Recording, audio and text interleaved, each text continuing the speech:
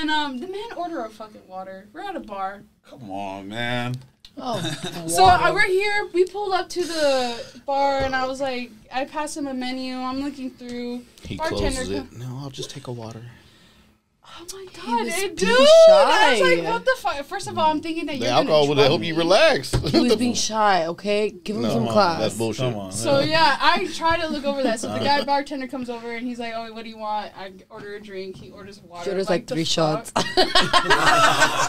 She like, man, I'm gonna need to get tipsy for this one. Oh, so I got me a drink, and then we're dr- I'm like drinking and trying to talk to him, and like I feel like Can he- he hold the conversation like you want? he's afraid to hold eye contact. He was the just like, and the water wasn't helping.